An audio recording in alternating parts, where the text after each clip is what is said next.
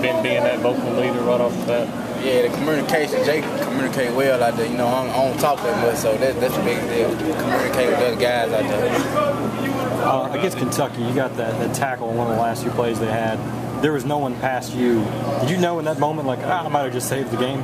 Yeah, I seen when he broke out, I knew I had to make a tackle, so I went over there and road tackled him. So I knew I, when I road tackle, I knew I was going to get him on the ground. That wasn't a little guy you roll tackle either. Nah, he pretty thick. How hard was it for you, or easy was it for you to just take over for Jay's role in terms of you know getting guys lined up, being vocal, you know, being that guy that, that gets everybody knowing what they're doing? I mean, it wasn't it wasn't too bad.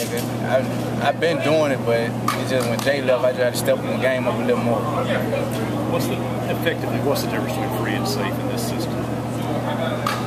Basically, free you you going you gonna be in the box more, and, and strong you, you roaming. But I can play both of them. I like both of them. Do you have a preference?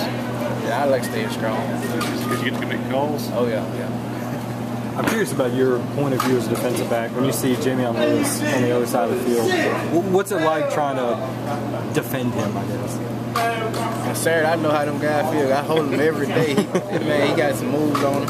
He, they give him uh, time to make it option route what he want to do. I know how they feel. Do you remind Jamie on that you used to be that Wildcat quarterback too in high school? Yeah, he know. He know. He seen a couple highlights. How much did playing quarterback in high school kind of help you back there in the secondary, kind of look to see what the, you kind of guess what those guys are thinking? Yeah, you're a leader back there. You know what that quarterback gonna do before he even do it. When he, some some quarterbacks in college, they don't. They just look at their receiver, stare him down. So I know then what they gonna do. Coming into the season, a lot of people, uh, I guess, quote experts, question the secondary, you know, experience and stuff. How do you think you guys have answered those questions? I mean, we took a big step ahead. Everybody was down in us. We lost a couple corners and safety, but we just stepped up. All our young guys stepped up and did great.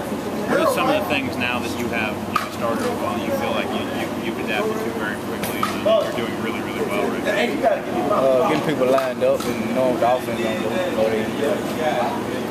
Is that something that's, you know, I'm going to assert myself. I may not be the oldest guy out here and I may not have the biggest reputation, but they're going to listen to me and, and they are listening to you. Yeah, that's a big thing. You know, I'm, I'm small, I ain't that fast, so I got to be a coach out there. I mean, you're a little better than you give yourself credit for. uh, yeah.